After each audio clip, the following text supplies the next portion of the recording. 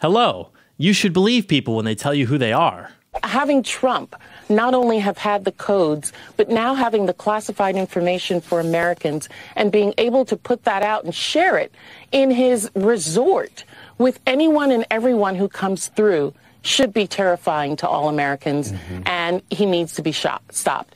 He needs to be shot, stopped. Relax, don't worry. I'm not going to do three minutes of me cutting between clips for all the times that these people have encouraged exactly what we're now seeing play out throughout the last 10 years or so. I'm sure you've seen it a million times anyway. You know, the Trump campaign actually just put out a statement with all the receipts of this occurring, but I think we sort of know what's going on. So we're going to talk about the implications of this on the political climate, if things could get really ugly, what uh, the motivations are behind this both from the left and the right in the establishment, why people of all kinds attack Trump at all different scales, what we can even do, all sorts of good stuff that you need to know or else face the horrors of not understanding how the world works. And we don't want that for you. So, first, we're going to go over some of the background information behind what happened this time around. So, last Sunday, a 58 year old man named Ryan Wesley Routh was fired upon by Secret Service agents less than 500 yards away from President Donald Trump. He was camped outside of Trump's golf route for 12 hours, I suppose, without being spotted. Uh, and then his Secret Service agents were scanning the perimeter, they finally spotted him as his rifle was sticking out from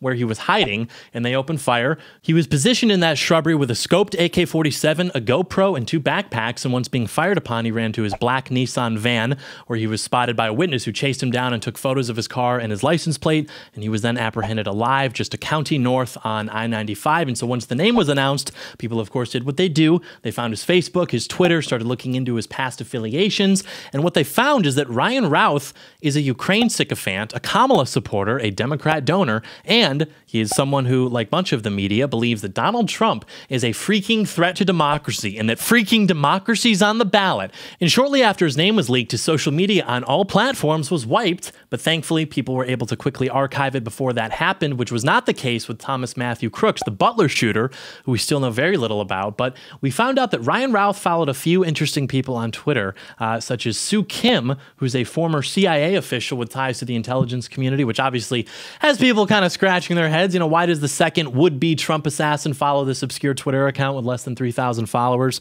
with connections to the CIA? The RAND Corporation, which is this neoconservative policy group, one of many, specializes in propaganda and leadership studies. He also did fundraisers and recruitment drives for the Foreign Legion in Ukraine, quickly denied any affiliation. He also claims to have met with members of pro Ukraine congressional committees in an article where where he was profiled or interviewed for the New York Times of all places.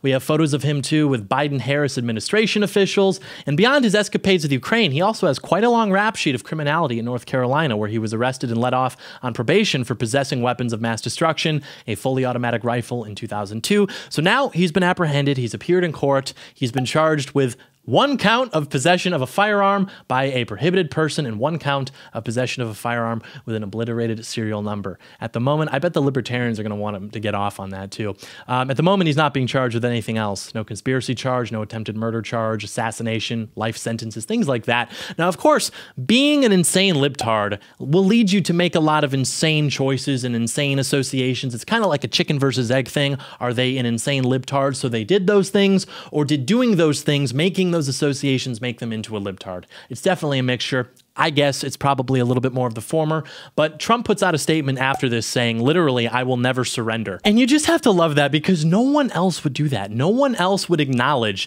that these are all instances related to the plot of the establishment to take him out. They would put out some generic statement about condemning political violence as if it's just some lone wolf, some isolated asymmetrical thing, as opposed to Trump, who's like, yes, they're trying to stop me. It's all the same. Wake up, patriot. Not to say that this would ever happen to them, by the way, because they're all just like total puppets puppets and also not to suggest that like if even one tenth of what has happened to Trump happened to them, they wouldn't just drop out immediately and go sit on the board of Boeing or some other company or just do consulting full time and just lease the Rolodex out.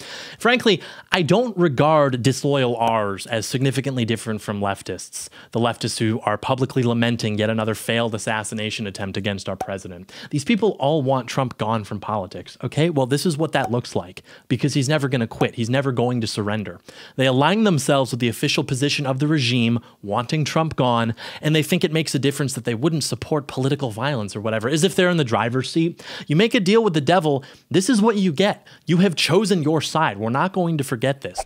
Donald Trump really is just on this quest to save America, and he keeps being protected by the friends he's shown kindness to along the way Shinzo Abe, cats. Who knows? Who knows which guardian angel will reveal themselves next? Don't worry, Donald. It's not your time yet. There's too much left for you to do. Donald, you have shown great kindness to us, so I grant you the status of honorary feline. You have nine lives, Donald. You are a cat in this way. All this loyalty to cats from the left, look who they choose. They don't respect you. You simply service them. They respect Donald Trump, and so they protect him. Truly an intelligent being, after all. But regardless, these happenings remind me of COVID in a way, because it's not just the happenings themselves which are so troubling, but moreover, what it does to your view of people seeing the way they react, seeing how illusory this whole thing really is, how depraved and without conscience these people can become at the push of a button once the signal goes out.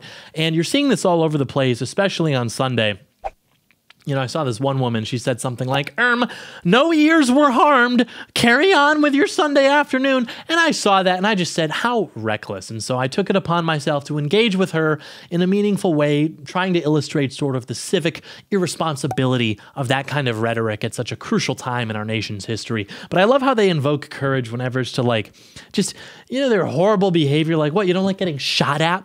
You don't like getting accosted by crackheads? What are you, a snowflake? What are you, some sort of beta male? Buddy, I could take your Zoloft away and your entire reality would crumble. It would fall apart. It'd be like when Woody opens up Buzz's helmet and he just starts like spurging out. That's you. You're a sick person. Let us help you. Let us make America great again. These people were designed to be like this, by the way. It was commissioned, they were ordered.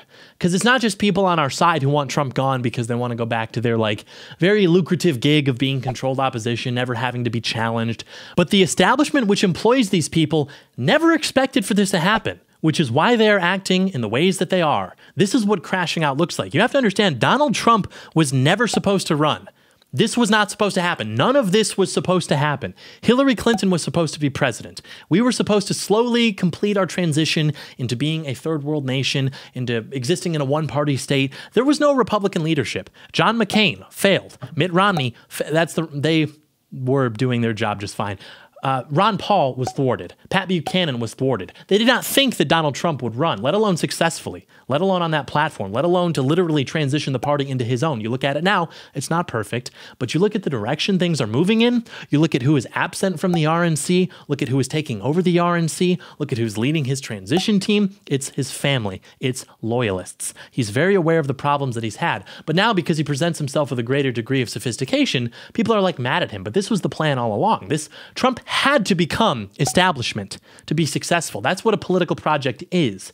You can't win if your identity is always being the outsider. Eventually, to win, you got to get in there and you got to make it yours. You can't always just be the guy who's outside pointing and yelling at the guy who's inside. He's now running the most right wing campaign of any of our lifetimes, but he's getting away with it because he's preaching about it as, oh, it's just normal. It's a self evident, common sense, and he's expected to win, which is why all of this is happening anyway. If Trump is successful, we will all be successful. Why would you not want that? They're not after Trump, they're after you. Trump is just in the way. It's that simple. Nobody has ever been treated like this in the history of our country, and it's because never has our country been ruled by such sinister people, and never have they felt so threatened as they obviously do by Donald Trump. And they create and they utilize through propaganda, chemicals, isolation, just very sick, maladjusted people who they can count on to join them in that hatred for normal Americans and anybody who can meaningfully stand up for them. So, yeah, they're really just hoping he gets killed before he wins again, obviously. And if this guy hadn't been an idiot and stuck his rifle out past the tree line, who knows what would have happened just a few minutes later? But he's in custody now. He's smiling. He's laughing. He thinks it's like the funniest thing ever. But what's weird about the idea that he's crazy, which I don't think he is in the sense that people mean, if you recall, TDS was much worse in 2016 and 2020, but this really didn't happen then. People hated Trump a lot more just a few years ago. They were more willing to go scream about it in public, complain forever. Maybe it's different because he's out of office, but it's not like the media's chilled out at all. I don't know. Even now, people are less worried about Trump. His favorability is improving. Remember, he won in 2016 at like negative 24 favorability. Now it's at like negative 8. So people just aren't off put by him as much as they used to be. Yet we've had two of these instances now now, just in the last couple months. Okay. And in 2016, you didn't know it was going to happen. So perhaps maybe there was some more urgency. Maybe he really was going to be the worst freaking thing ever. But then he gets in office, you find out, okay, it's not the end of the world. So why would you be more worried about this going into 2024? Why would you be more motivated to do something like this now? Hmm. Well, for one, we should say these people's minds are literally broken. They've been melted. They have been radicalized by the mainstream media, which we'll talk about in a second. But first, I want to say I think we should really just support the president right now, really focus on that. That's our two month timeline. When we have power, then we can launch investigations. Because if we don't have power, there's no point anyway. You're just asking different parts of the same machine to look into each other. You're asking the left hand to look into what the right hand is doing. Like, oh, well, the House Oversight Director subpoenaed the Secret Service Director for a hearing on the attempted assassination of Donald Trump. Okay, it's just different tentacles investigating each other. It's all one thing. There are no competing power structures representing separate interests in society. They're all part of the same regime. Even if they can hold each other accountable, they have no incentive to. And in fact, the incentive in the job description is to not do that explicitly. So it's good that Florida's launching its own investigation. I hope that something legitimate happens there. Good work from Governor DeSantis.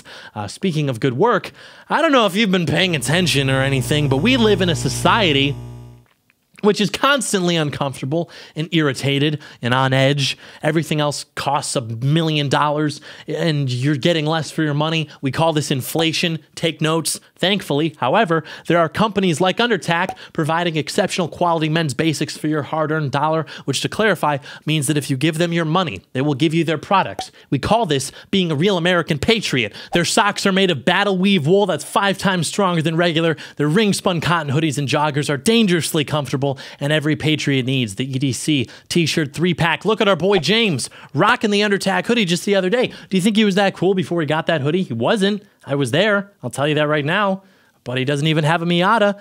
Don't believe the lying press. The bottom line is that it is getting colder outside. You need the Patriot hoodies. You need the Patriot sweatpants. You need the Patriot socks. You need to pay these people to put clothes on your body. They even have stuff for women now. And if there's one thing women need to be doing nowadays, it's wearing more clothing. And thankfully, the engineers over at Undertac have devised a solution to this. You simply go to undertac.com. That's undertac.com. You get 20% off site wide when you use my offer code Doyle20 exceptional comfort, twice the guarantee, a fraction of the price, and they donate a portion of their profits to organizations actively in the fight against human trafficking, which is basically uh, what we're going to be talking about later in the week. So it's like you don't even care something, you know, if you're not giving these people money. So stock up today, undertac.com. That's undertac.com. Offer code Doyle20, very epic. We continue. I want to say this about Trump. I have to say this about Trump. I have to say it because a subsequent assassination attempt later, people still don't seem to know what time it is. So many people still counter signaling Trump, complaining about Trump, just shooting arrows at him, saying he's not actually conservative, he's not actually America first. And we will address all of that because it's simply a misunderstanding of everything that's going on. But I'll say for now that that which is conservative is simply that which conserves the traditional American society. It's not really something you have to overthink. It occurs very naturally, as it did for a very long time. It's only disrupted when evil is allowed to syndicate and fester itself all throughout society. If you waved a magic wand, and got rid of all the propaganda and all the laws inspired by the propaganda and all the incentives created by those laws, things would more or less fall back into place within like two generations or so. All of this only happens because of the nonstop propaganda that you and everyone else is tuned into for eight to 10 hours a day. If that shuts off, nobody would just like think all of this is a good idea. Nobody would be compelled to defend all of this, take up some personal crusade against the opponents of all of this, which are just normal people. So I don't really think of conservatism as ideology so much as I do whatever stops communists from ruining everything forever because they're just like evil and resentful. And funny enough, the class of people who worked really hard to synthesize it into an ideology that you can read about in a book, they oversaw the pillaging and transformation of this country into something unrecognizable to even themselves. So, yeah, I don't really take too much of what they say seriously. If you're not able to actually conserve something, then you're just talking and that's boring and it's a waste of time. And we've already wasted 50 years of time. So, whatever you think is going on because Trump said this or you didn't like his answer on that, you need to understand he is trying to appeal right now to 300 million people. Ted Cruz would not have won in 2016. However, you think Trump is doing right now electorally, all of the more traditional GOP type figures are down a lot relative to him in states that you need to win the election, in swing states. So if you want someone to get up there and just repeat the same feel good sentiment about traditional values, but then not actually win or do anything about it, fine, door's right there. Wish you luck because it happens to be the case that every other person who did that sold you out. And the only real victory for social conservatives in decades came from Donald Trump, who ran not as Chungus Moral Man 5.0, but as a nationalist who kept his word and paid dividends to social conservatives. If the left consolidates permanent political power through another amnesty, which is what they're talking about, and which is why they've allowed for 15 million people to just flood into the country in the last four years, then everything you claim to oppose so strongly is going to happen, and it will be impossible to do anything about it pretty much.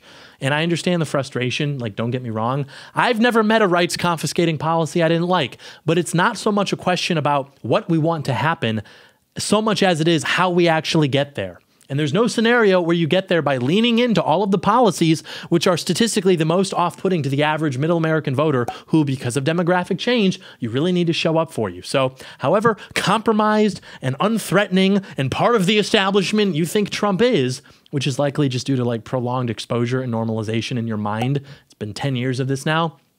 He's identical now on the issues to what he was expressing in 2016. And if anything, he's actually improved, which is literally just true. Like, go back and look it up if you can't wait until we do the deep dive on this. So, if the establishment, which you claim to have such a problem with, were actually not threatened by him, then this all would not be happening, just as it did not happen to anyone else who apparently was so based and so brave because they stood up and they said into a microphone that we have to freaking preserve traditional family values. I agree. But, like we said in the last video, do not confuse what makes enemy's eyes roll with what is actually threatening to them. We had guys that said that for decades and they did nothing. We did nothing but lose. The regime stays in power because of the importation of a permanent underclass to displace Americans ethnically, culturally, politically, economically, in every which way. Immigration is their power. It's the source of it. Nobody spoke about immigration until Donald Trump. You would get blacklisted in the 2000s from mainstream conservative publications for speaking about immigration, for hinting at attitudes towards immigration, which Donald Trump has now made central to his campaign quite successfully. So you can get up on your soapbox all you want, wave your finger at Donald Trump. I hope you feel very brave for doing so. But at the end of the day, unless you're willing to go after immigration, Nobody is threatened by a single thing you have to say because you're never going to make any progress, which is why you're not getting shot at every six weeks, and he is political theater. That's when you say something that offends my sensibilities, and then I say something that epically owns you, and none of this really matters, but we do this dance in perpetuity while meanwhile 60 million people move into the country, and then all of a sudden everything's different now, and I have no power to do anything about it. Hmm. That's a lot of wasted time, right? It's just politics 101. It's friends and enemies. Who are our friends? Who are our enemies? Everybody gets so caught up in the what, they neglect the how. The what ceases to exist without the how. So if the people you know are your enemies hate Trump and you agree with 70% of what Trump's about, then it might be time to make a decision consider your position carefully. What other real options do you have available to you right now to improve your life and your political situation within the next six months? You know, I don't think anyone has done more to articulate why Trump is so important than myself. And I did it because somebody had to do it.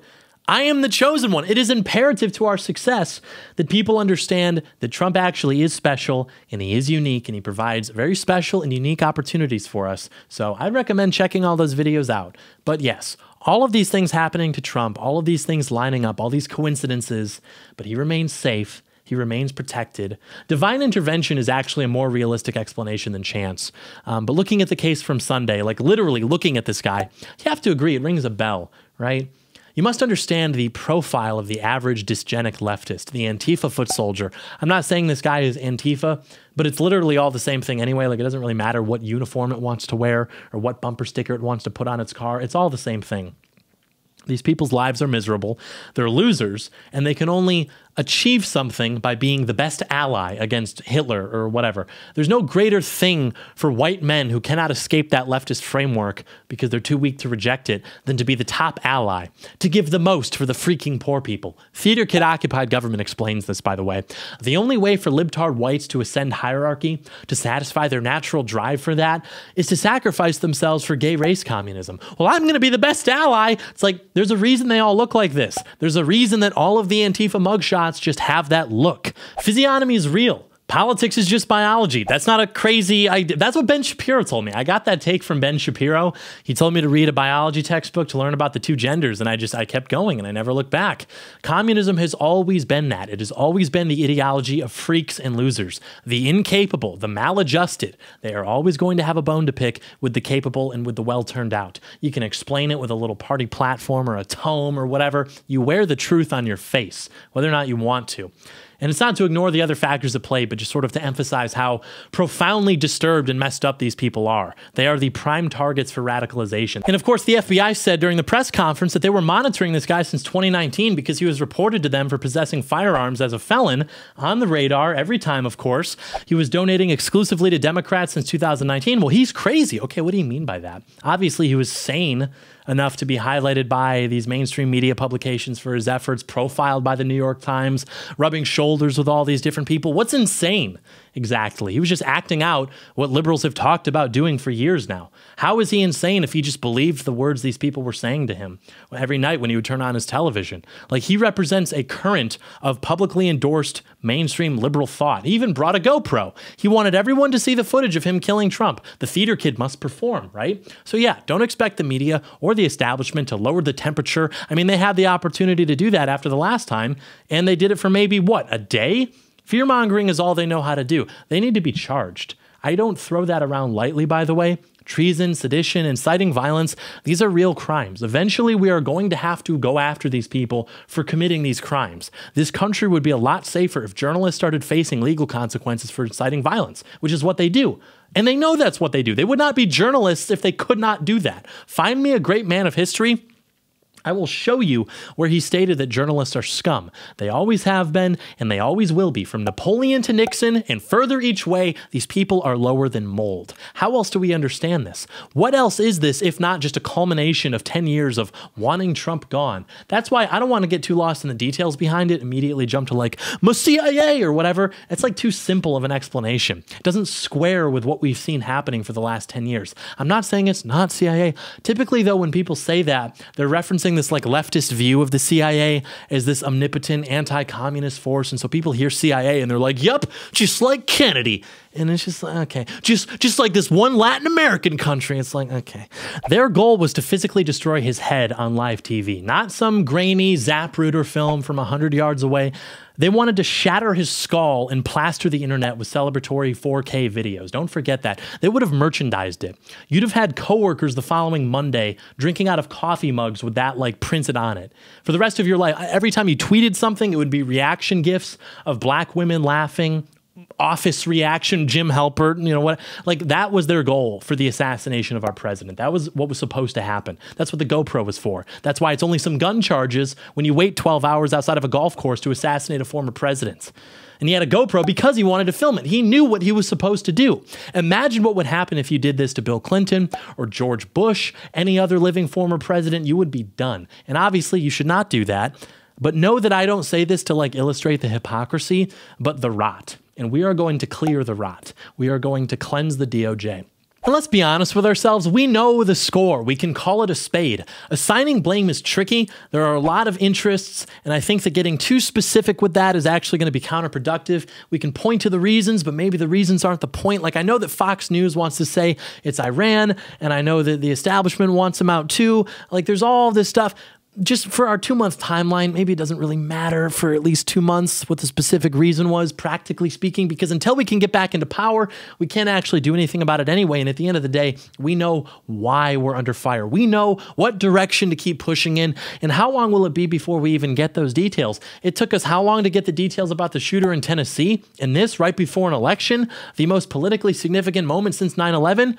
Yeah, and I'm not saying the details aren't important. I want to know the details. But the reason is that you don't want to get too specific when you start trying to piece these things together because you're going to get yourself lost in the weeds. You're probably, statistically speaking, going to cross wires. You're going to bump into some walls because chances are you're not 100% right and it can be easily debunked and then people aren't going to take you seriously and that does harm your goal. If you know for sure, awesome. But otherwise, you probably will have essentially constructed like some straw man, even though you may very well have been well intentioned. So you don't want to bet on yourself being 99% correct. That's a very small target to hit. But You can bet on yourself being 80% correct. That's a lot better, practically speaking. You can work with that. You can make that palatable to the right people, bring them on board. Because in practice, we all know what's going on, we all know what's happening, and we all know what we need to do to get it to stop. And because all of these different interests have coalesced to attack Donald Trump, that's why we give no quarter to those who attack him, to those who align themselves against the president as just another one of those many interests. Maybe they tell themselves they're based, they've got their own little reason for it, whatever.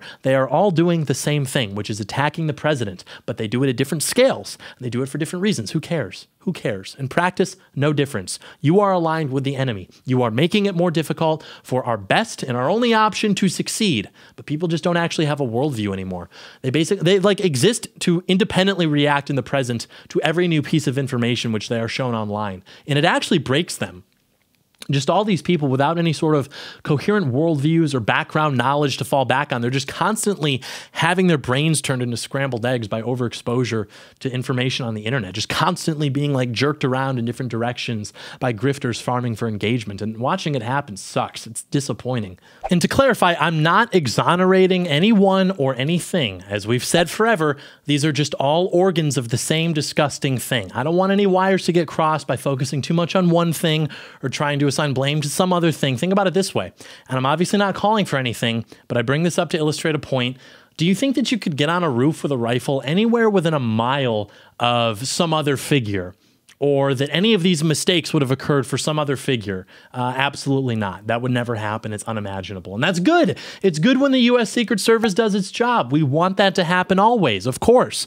But why does it happen selectively? That's what this patriot wants to know. Oh, is it malice? Is it incompetence? Well, you must transcend the binary, patriot. Incompetence can be used maliciously. In fact, that's actually a great idea because then you have plausible deniability. Because there's always going to be a bunch of people who are like, erm, never attribute to malice what can be explained by incompetence. Haven't you heard of Hanlon's razor? Hey, uh, you should say that underwater and then also like never come back up. What's malicious incompetence? DEI, understaffing, underfunding. Here's what malicious incompetence competence looks like.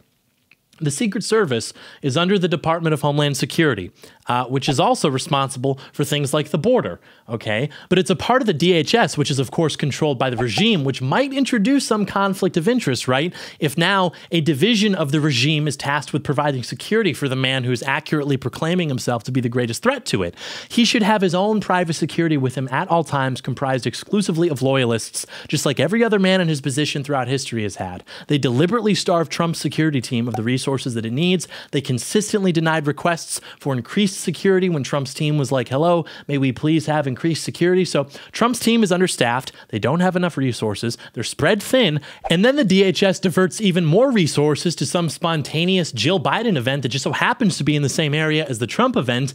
Then the DHS, in surveying the area, says that, and this is something that anyone who's worked in security or even just played a video game will tell you. Uh, and I know that because I've talked to them, not the video game guy, that's me, but like guys who have done high profile security for celebrities, public figures, things of that nature. The place where the gunman was set up, that's like the obvious place that you're making sure is locked down. But then we're told not to worry. There are experts in charge. Everything is fine. Mistakes happen. This is the same impulse, by the way, that drives people to be off put by Donald Trump in the first place. Like, this guy's brash. He's immature. He's unsophisticated. The system works. Our system works.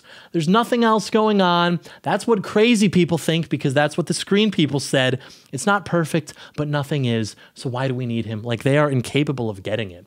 The same way Trump moving his head out of the path of the bullet at the last second defies chance and is actually better explained by God than like the idea that it was just a freaking coincidence. The odds of all these things lining up so perfectly also defies chance and implies the hand of something else. It, it's better explained by that than just like, damn, that's crazy. Wow, what a mistake that was. Whoops. Regardless, the good news is that this is plenty of justification for Trump's DOJ to go after anarchist and communist terror groups, of which there are plenty. And also, their OPSEC sucks because it's never had to be good because the state runs cover for them because it likes them. It would be the easiest thing to have occurred ever. It'd be like finding hay in a haystack. But make no mistake, that is what happened. God protected the president. Shinzo Abe, Donald Trump's guardian angel, protected the president. It is nothing short of a miracle. You couldn't think of something more miraculous to have occurred on American soil in the last 50 years if you dedicated an afternoon to it. It's just like, seriously, a sudden gust of crosswind and the president lives, but not without battle scars. And they really hated that, didn't they? That he immediately turned to the crowd and said, I'm fine. keep fighting. Shots fired, the president's down, multiple people injured, but no one runs. I spend a lot of time on Twitter watching videos of shots going off in public. I'm in some pretty silly group chats. The first thing everybody does is they duck and they run and they get out of there. It's chaos. But these people, they sit there with bated breath, silent prayers. They are peering into the nation's uncertain future. What happens next? And then he stands and they applaud. He thrusts his fist into the air and they leap and they shout with joy. A leader who loves his people, a people who love their leader. He later on, he says, I needed them to know that everything is okay. His first instinct was not to get off stage to safety. Nobody knows what's going on. The shooter's still active. There could be multiple. He says, No, I need to let them know that we're still fighting. Never surrender. Above almost anything else. They hate that display of strength and they hate that the public responds to it. Think about it. When you're a Democrat, your currency is whining like a bitch. If this had happened to a Democrat, they'd have to go on 60 Minutes the next night, be crying crocodile tears talking about relating to the experience of American school children or something like that, except, except of course, for the ones in Tennessee. But Trump raises his fist. He says, Who cares? That's American masculinity. That's what a hero looks like. People talk about Reagan's, you know, missed me the balloon pop moment from 50 years ago, even though that was scripted. Okay. How about you literally just shot me in the head 30 seconds ago, but I'm still standing? I'm still fighting. You couldn't write that. And the left thinks it's staged because they can't comprehend courage or heroism when they see it in real life. It has to be within a controlled environment, like a soundstage. It has to be within the context of a Marvel movie. And the enemy has to be the evil, freaking bad guy.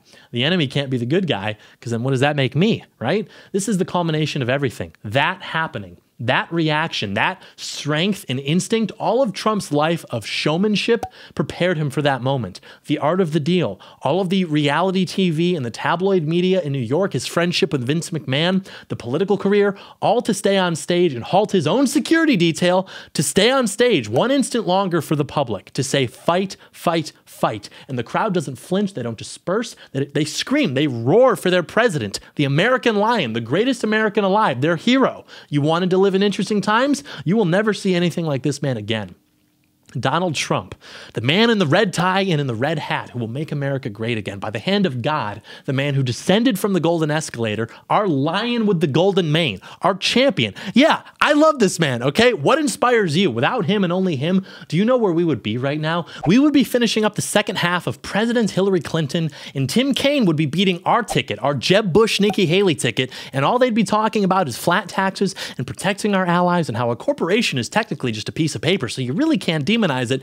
But of course, now everybody wants to come back on and support Trump. That's fine. Hey, that's great. We'll keep it that way, right? I'm glad you finally understand. I wanted Trump gone, but not like this.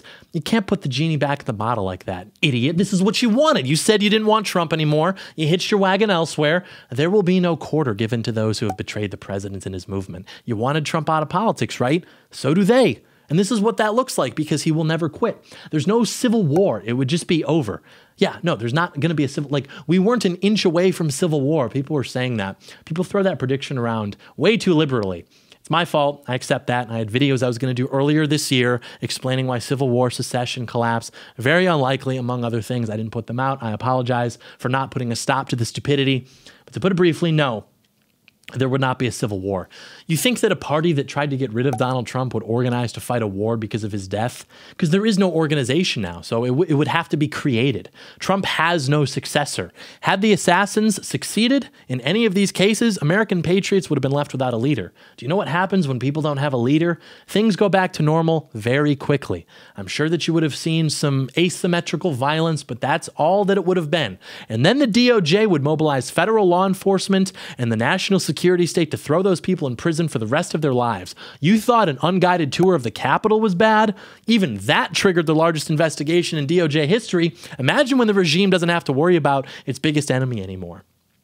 That's why, frankly, I don't really buy the like assassination insurance angle. People have been saying, well, you know, Trump needs to pick someone like him to be vice president because if he picks someone that's like some establishment person, then the deep state's going to take him out so that they could just have the establishment person guy become president. But if the vice presidents weren't like that, uh, then that wouldn't happen because there would be no point to it. Look, I like a lot of these guys. I really do. I like JD Vance. I think he's a great pick. If you want me to talk about that more, we can do that. But the reality of our situation is that they are not Donald Trump. I'm sorry, it's what it is. It's not to say these people aren't promising, that they don't have bright futures, but if push comes to shove tomorrow, I think it would be a tall order to expect anybody to just fill Donald Trump's shoes.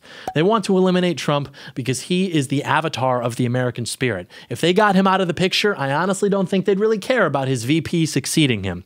I'm sure there would be big talk from them and there would be respect paid and they'd pretend that they weren't doing this to Trump, all these other things.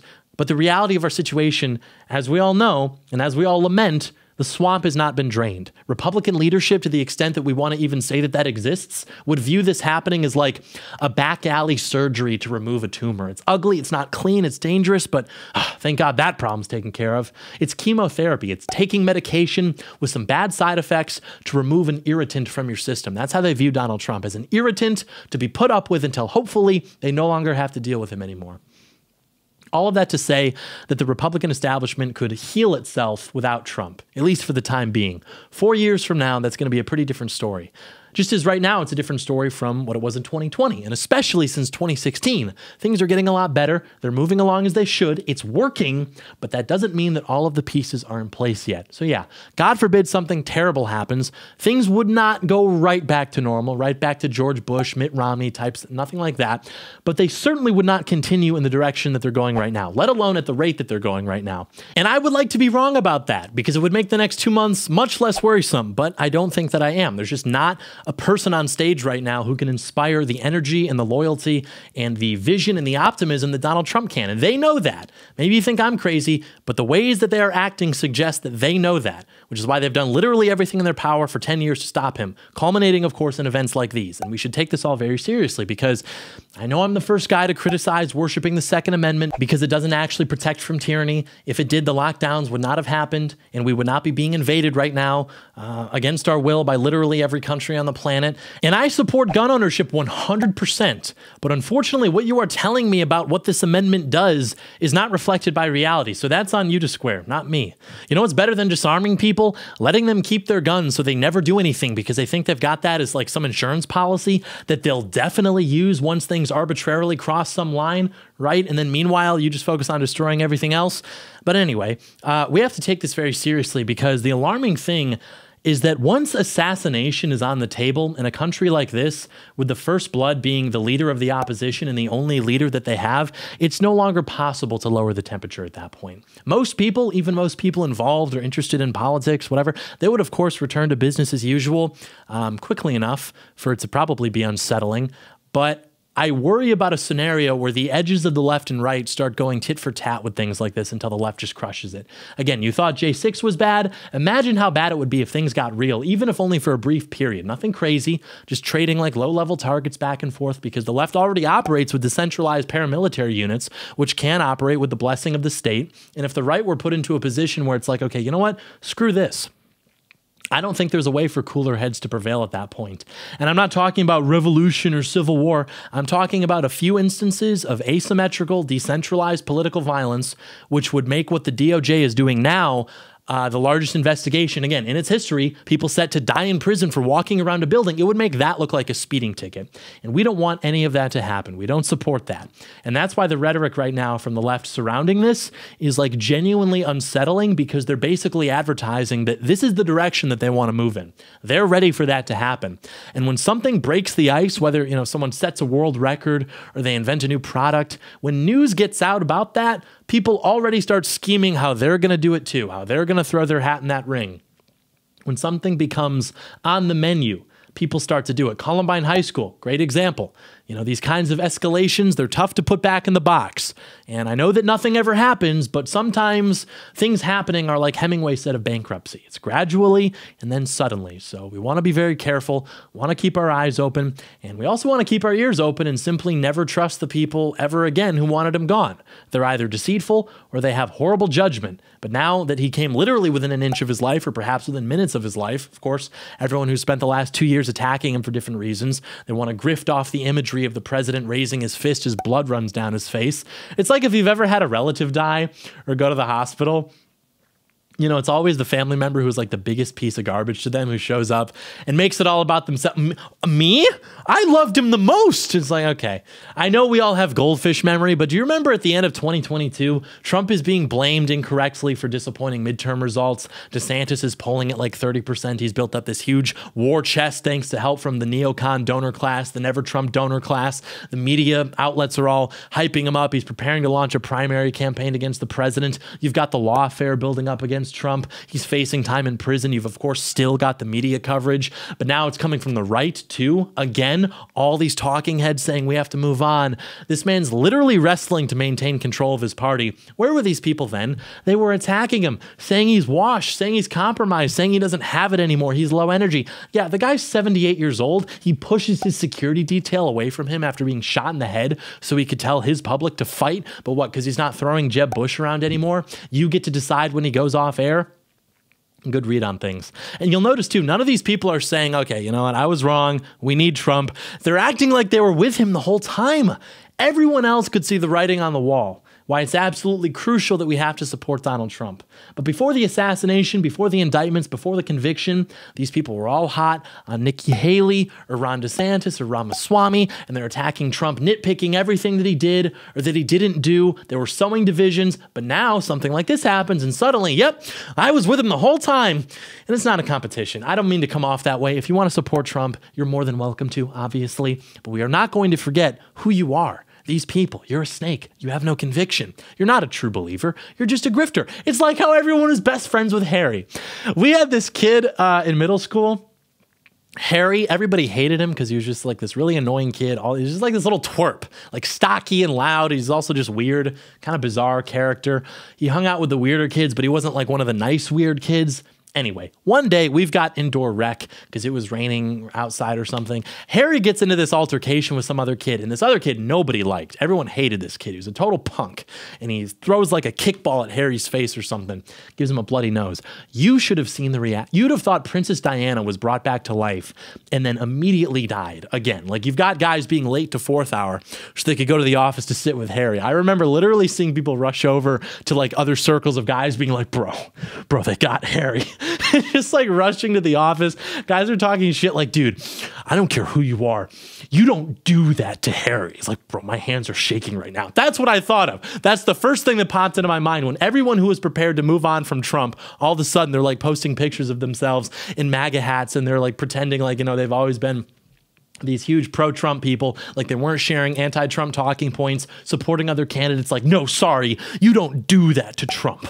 My hands are shaking. Like, that's what I thought of immediately. You've gone back and forth on Trump personally. That's fine. That's your prerogative. It's these liars who I cannot stand, though. I've never seen so much casual disregard for the truth in my life, not a measure of integrity or shame. And the reason we have to exclude these people is because you can't trust them to do anything but what immediately benefits themselves. A lot of it can be explained by money, sure, but again, that's almost too forgiving. This is theater kid occupied government. Most of these people just want attention. They are the theater kids. This model works. It, it works everywhere. These are people who cozy up to Ron DeSantis, his staff. They're going to events, doing the same thing with Ramaswamy because he's younger, he's got money. They want to rub shoulders with these people. That's fine. These are fine people. Makes them feel good to give them something to report back to Thanksgiving. I don't have problems necessarily, but it's like, okay, you know, I'm not going to trust you ever again. You'll make a great representative someday, but you're a snake. So I know you think it's really smart. You're just like a politico, you're operating, but it's over for you. Uh, but that's of minor importance. What is of major importance is that the president and the vice president are making crowds chant for mass deportations. Focus on the North Star. Nobody else in the GOP is talking about mass deportations, which is literally like the forefront of Trump's campaign. Because of Trump, the crowds are cheering for it. They're holding up signs for it. And it's what has to happen. Without Trump, they're just pandering forever. It's just typical GOP cringe, typical GOP nonsense, but without any positive direction. You don't get the payout at the end. You just keep losing. Nobody else is leading this. That's the reality of our situation. And nobody else could have. I've been telling people for years don't take Trump for granted. I know it's easy to get caught up in the day to day. I get it. Go back, watch the footage. Go see what things were like before Trump or what they're like now without Trump when people are trying to move on from Trump. That's Nikki Haley. That's Chris Christie. But people want a black pill. Okay, why not get involved first? Black pill later. We need to get our guys involved. This will take a while. It's an ugly place we're in. Everyone's got to get their own little take. I understand. No one has skin in the game. I remember being criticized by people like two years ago because I said, yeah, you know, this is probably going to take a while. And then they're like, no, we need to do something now. I was like, what are you, what? What are you talking about? I thought we were all disagreements aside. I thought we were all on the same page. This is going to take a while to undo. I thought we at least agreed on that. And then I realized these people are genuinely low IQ. Like you say this to them, this is going to take a while. They don't hear that the same way that you and I hear that. Like, okay, given the circumstances, we all want the same thing, but I suppose it is true that it's going to take some time to get there. They literally hear that as thing I want, I can't have right now, with no regard for what, why, or how. And then because they have low impulse control, high time preference, the whole nine yards, they lash out, they get angry, they strike you. So you have to feel badly for them. This is all very confusing to them, very agitating agitating. It was never supposed to happen. They were never supposed to be cursed by literacy and the democratization of the internet, the low information voter, a civic concept itself, a repudiation of the franchise. Why would you ever want to have that? A low information voter. These should be incompatible. But yeah, I try to tell people that about how most people are just not literate and are not even capable of like understanding your language for what it is and instead can only perceive it in terms of themselves and how it either serves or interrupts their seeking of rewards. And they just laugh. They're like huh yeah right? As if i told them just like a funny way of seeing the world because i'm a funny guy. It's like no i'm being completely serious. These people do not use language the same way that you do. If your model of the world says that they do you're often going to be confused and you're going to be disappointed. You're going to be like wait what why are they doing that? What's going on? Stop. I'm so puzzled. But if your model of the world says that language to them is understood more in like a Pavlovian sense, where they're just making whatever sounds or transcribing whatever shapes are needed to get them what they want as soon as possible, well, then all of a sudden their behavior makes a lot more sense. And you won't be so frustrated and confused all the time. And then you'll thank me. But yeah, I started laughing at the end of the last video when I said this because it, you know, it is funny how we talk so much and we analyze things at such depth and we go all the way around the block and then we get right back to, and that's why we have to vote for Donald Trump in November. But it's true. That's our next best move. I'm not saying you can't criticize the president. Nobody is beyond criticism. But if you can imagine like a spectrum of all the possible scenarios mapped for times to criticize the president, like worst times compared to best times, can you at least understand that we're probably a little bit closer to the former, right? And vice versa when it's like probably time to support the president. That's probably where we're closer to right now. Two months out from election day, they're shooting bullets at his face. Maybe it's time to give the guy a little bit of love. You know, the guy that just took a bullet for you. Can you maybe just relax a little? Oh, what? So just because he took a bullet first, that means we can't criticize him? That's not what I'm saying, you caveman. But honestly, yeah, you know what? Fine you. You can't criticize the president. It's illegal now. He left a skyscraper penthouse overlooking Central Park to take bullets for you. What have you done? I'm sorry. I thought we were keeping score. He needs our support. Pray for the president. Pray for the lion. If you stand against Trump, you're not an American. And if you can't bring yourself to, I don't know, do it because you're just so strong in your conviction, you can't support the candidate who will give you more of what you want because it's not everything you want. You're just like so convicted and principled. Okay, that's your prerogative, but don't do it for yourself then. Why can't you do it for the people who have been, I don't know, murdered for supporting their president? A man woke up two months ago to go hear his president speak and he was killed for it. And every member of the media who has spent the last decade inciting this, they all wear his blood on their hands. And there will have to be accountability. There's no other way. The American people have to have justice justice for the crimes committed against them by these freaks, but there won't be accountability and there can't be justice if we lose. And of course, the running cover for these things loud noises at a rally, shooting at a rally, incidents at a golf course. No, these were assassination attempts. These people assemble the weapon, they load it, they place the weapon, they give everybody within eyesight like hits of meth, and then they think their innocence is maintained because they didn't physically pull the trigger.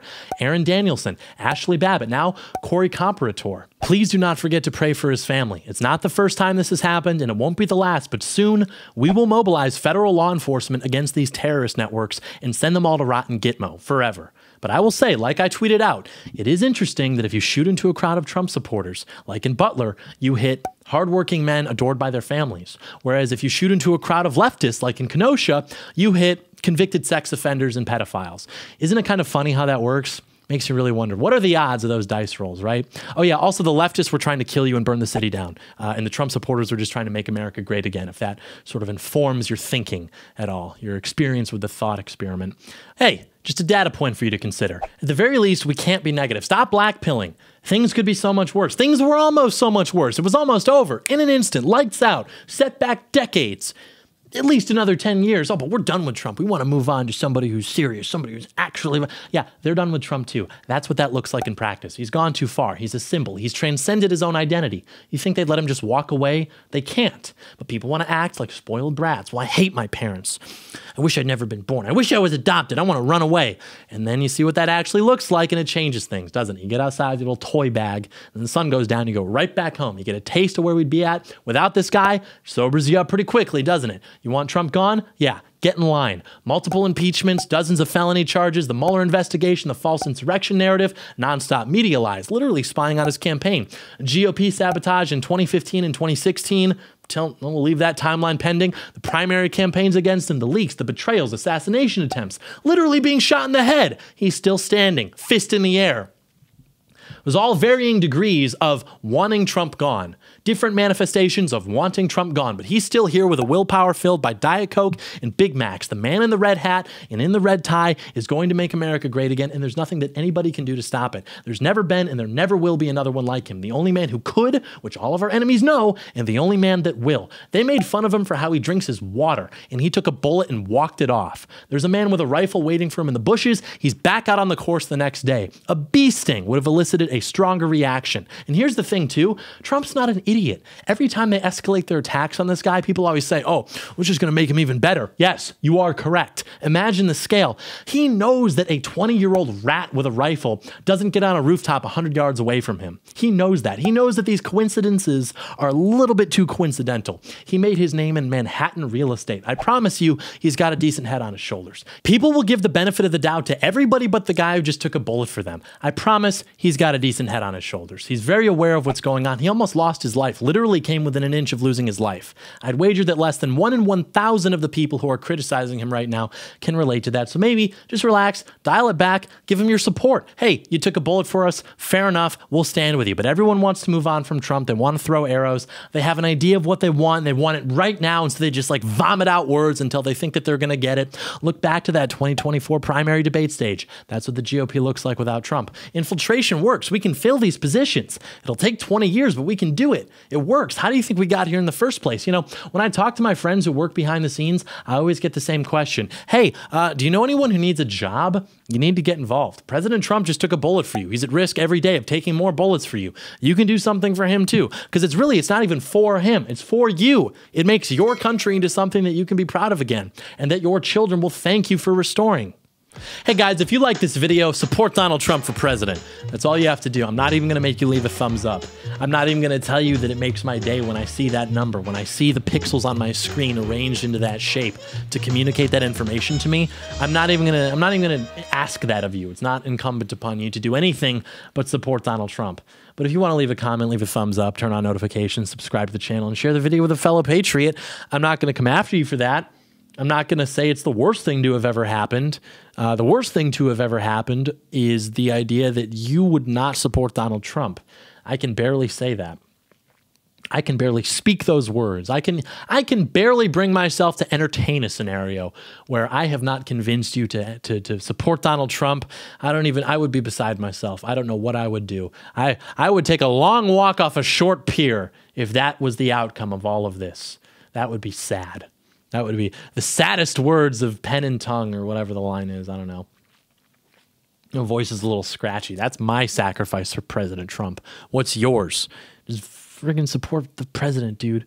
Freaking be a decent human being. Support Donald Trump. Okay. Thank you so much for watching. God bless you. God bless President Trump. God bless the United States of America. You're doing a fantastic job, and everybody loves you. We'll see you next time.